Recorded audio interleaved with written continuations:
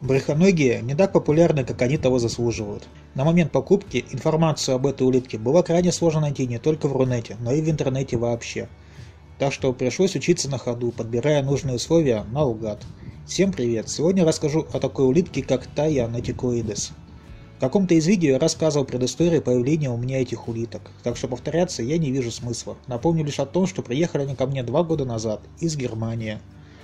Что же это за улитка такая? Эту улитку описал Уильям Теобальд в 1865 году как Паудина натикоидес, а в 1918 году перенесена Нельсоном Анайдейлом в род Тая. Относится она к семейству вивипарит и дальняя родственница нашей лужанки, и, как можно догадаться, также является живородящей. Было даже так, что когда я убирал погибшую улитку, ее тело выскользнуло из панциря, и в нем была маленькая, не до конца развившаяся улиточка. Но мы немного отвлеклись. В природе эта улитка живет в Мьянме. Встречается она как в реках, так и в стоячей воде. Как я упоминал, таи являются не только живородящими, но кроме того и раздельнополыми. У самцов правый усик более утолщен и служит половым органом. У самок же оба усика одинаковы. Так что если хотите их завести, то возьмите 5-6 штук, чтобы исключить возможность получения только однополых особей.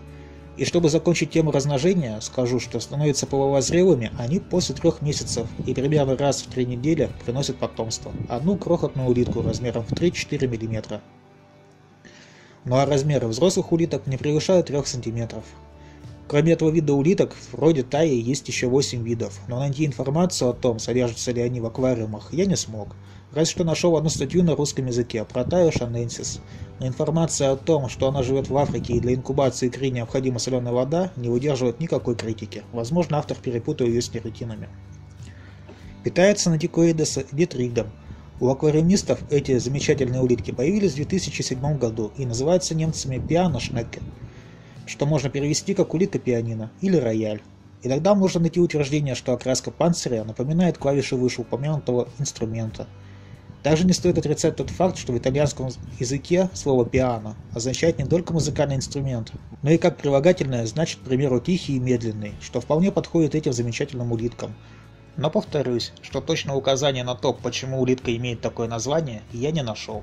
И все это мои догадки. Также я не зря говорю именно о немецком названии, ведь из-за крайне низкого распространения этих животных по просторам России, русского названия у нее просто нет. Кроме того, можно найти упоминание о том, что кроме полосатой окраски у них бывают и более темные, почти одноцветные особи. Среди десятка заказанных мной такими были только две улитки.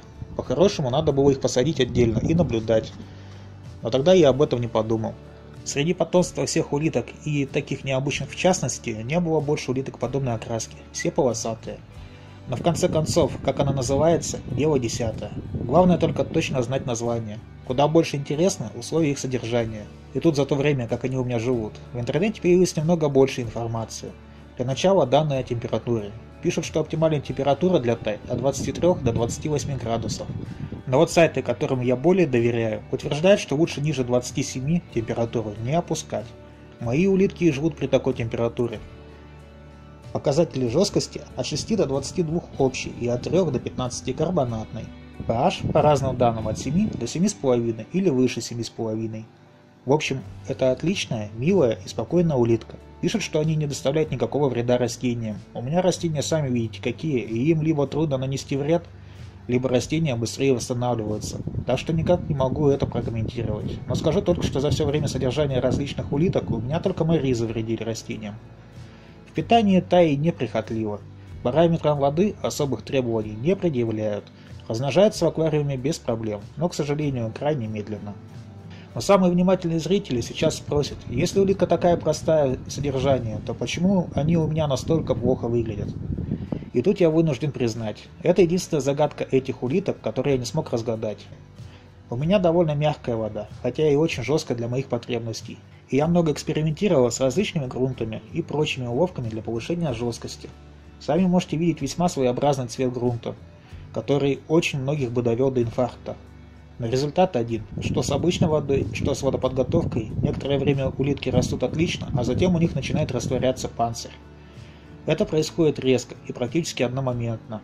Буквально за два дня портится все, что пару месяцев до этого отлично росло. особо пострадавшие особи со временем умирают от этого. Можно найти утверждение, что для того, чтобы избежать этого, pH должен быть от 7,5 до 8. Но он у меня сейчас как раз такой, и пока особых изменений я не вижу. Зато у моей знакомой эти улитки при тех же условиях и воде отлично живут. Вот такой парадокс. Из всех советов, которые я нашел по этому поводу, я не пробовал только один – дать улиткам песок, потому что они любят в нем копаться. Не знаю, верно или нет, но не совсем в это верю. В любом случае, вскоре я опробую этот метод и, возможно, изменю свое мнение. Вот такой вот небольшой рассказ о такой небольшой, но очень интересной улитке. Если у вас появится возможность завести ее, не откажите себе в этом удовольствии. Возможно, именно вы сможете решить мучающую меня и улиток загадку. Ну а пока снова понадеюсь на то, что это и многие другие замечательные улитки станут достоянием аквариумистов. Всем пока!